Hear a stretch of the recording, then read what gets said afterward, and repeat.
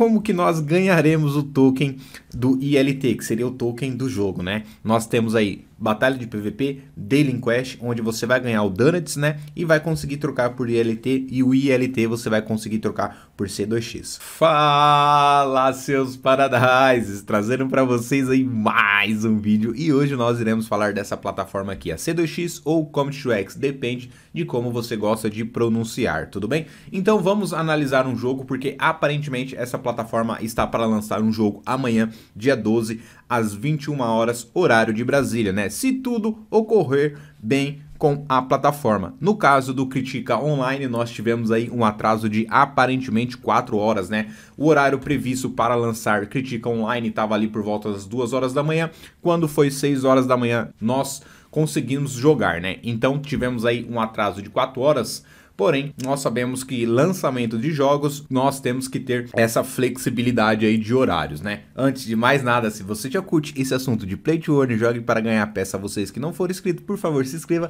E aquele gesto nobre da sua parte, onde ajuda demais aqui o vídeo a alcançar outras pessoas que queiram saber mais sobre o mundo da Blockchain Games, deixa aquele joinha, certo? Vamos analisar aqui aparentemente o jogo que está para lançar amanhã. Vamos descer aqui, ó. Como vocês sabem, essa plataforma está trazendo jogos novos e também jogos antigos, né? Que nem Chromat Souls, se eu não me engano, é um jogo novo. Critica Online é um jogo antigo. É, Baseball aqui é um jogo antigo. Esse Idol Look, que é o que nós iremos falar hoje, é um jogo antigo. Se eu não me engano, Der Ela é um jogo novo e também o Chronix é um jogo que eu estou aguardando bastante também, é um jogo novo, né? Então é uma plataforma aí que está trabalhando com o mesmo mecanismo que a Marblex e a UMX, né? Onde estão trazendo jogos novos e também ressuscitando alguns jogos, né? Tentando ressuscitar alguns jogos. Então vamos falar desse Idol Look, porque é o que aparentemente vai ser lançado amanhã. Então vamos clicar aqui, ó, em Beta Game Launcher. Então vai aparecer aqui a telinha pra gente, né? Todos os jogos que estão em fase de beta, todos os jogos que já passaram no fase de beta, né? E já estão com o site oficial aqui, tudo bonitinho, né?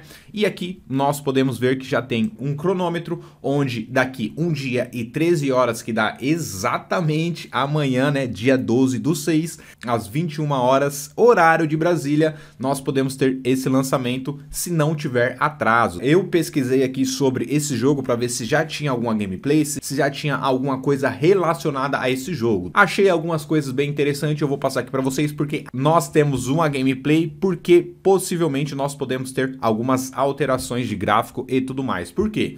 Eu entrei aqui no TapTap, né, um aplicativo aí que é igual a Play Stores e achei dois jogos com o mesmo nome, Idol Look. Eu abri os dois aqui e comecei a analisar, certo? Aqui, ó. Aparentemente, o jogo ele era bem parecido, porém os gráficos era bem diferente, ó. Vamos deixar aqui, ó. Aqui aparentemente é a gameplay, ó, como vocês podem ver. Então vamos olhar aqui o jogo oficial, ó. Aqui nós temos uma prévia de como que vai ser a gameplay, ó. Pode ver que é um pouquinho diferente, ó. Vamos analisar aqui, é um pouquinho diferente. Porém, galera, eu achei algo bem interessante aqui e eu quero trazer para vocês, porque aparentemente esse jogo aqui realmente é o mesmo, tá? Porém com alguns gráficos melhorados ou até mesmo designer diferente um do outro, ó. Eu estou com a gameplay do I Don't Look, que já foi lançado, ali ó, como vocês podem ver, dia 29 de julho de 2021. Então esse jogo aqui já está rodando. Se vocês notarem essa corujinha aqui, ó, vamos pegar essa corujinha e vamos pegar o jogo original, ó, tá vendo? Esse daqui é o jogo que está para lançar amanhã e se vocês observarem é a mesma corujinha. Então é o mesmo jogo, porém com alguns, alguns detalhes diferentes um jogo do outro, né? Pode ser que a interface do jogo aqui nós podemos ter uma melhoria dos gráficos, da jogabilidade e da mecânica de como vai funcionar, tudo bem? Porém, nós podemos já perceber que o jogo é o mesmo, né?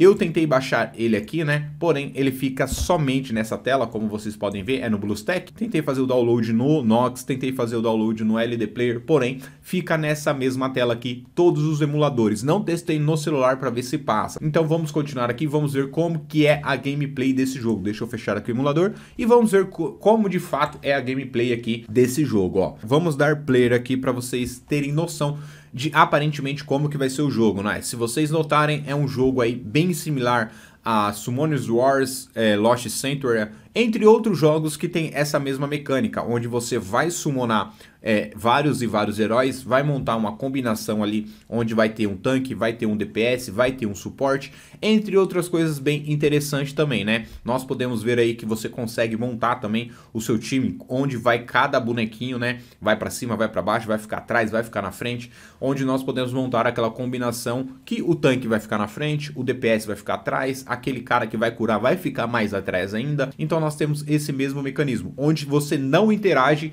diretamente com os personagens, né? Você vai montar sua comp, vai colocar ali em start, tá vendo? Ó, montou ali tudo bonitinho, colocou em start, o jogo vai ficar jogando automaticamente para vocês. A única coisa que às vezes dá para você fazer é quando o personagem usa, é, o personagem carrega a barrinha aqui embaixo, como vocês estão notando, né? A barrinha azul aqui, ó. Quando eles carregam essa magia, quando eles carregam essa barrinha, ele aparentemente solta um especial. Eu acredito que tem como você deixar no automático, né? Nós temos aqui também, ó, o sistema de gacha, né? Onde você vai summonar diversos heróis. Bem interessante esse joguinho pra gente ficar de olho, né? Nós sabemos que aí várias e várias empresas estão fazendo o quê? Pegando esses jogos bem antigos, estão repaginando e colocando eles para o Play to Earn. Porque é uma tendência do mercado. E quem souber administrar isso consegue tirar ali 10, 15, 20 dólares na primeira, na segunda semana, colocar um dinheirinho no bolso e ficar esperando outros jogos. Porque a tendência desse ano é ter vários e vários jogos assim e nós sabemos que se você conseguir pegar a oportunidade de sacar o primeiro saque, né, você consegue tirar um dinheirinho muito bacana, colocar no bolso e estar reinvestindo em outros, outros projetos que você acredita mais, né? Vamos dar um exemplo, vamos supor que você acredita muito no Ninokuni, você consegue tirar ali 10, 12 dólares desses projetos e tá investindo no Ninokuni, onde você está acreditando, onde tem um potencial muito maior do que esses jogos, né? Então você tem que saber trabalhar muito bem essa mecânica de jogos novos, onde você consegue colocar um pouquinho no seu bolso ou até mesmo estar investindo em outros projetos. Então, basicamente é assim que funciona o jogo, né? Nós iremos aguardar. Aparentemente amanhã nós teremos o lançamento, se tudo ocorrer bem, né? Se tudo for ali conforme eles estão falando, a partir das 21 horas nós podemos ter esse lançamento aí de Idol Luca, certo galera? Se esse vídeo aqui fez algum sentido para você, não esqueça de deixar aquele joinha, se você não é inscrito no canal, por favor se inscreva, espero ter ajudado e até o próximo vídeo, hein?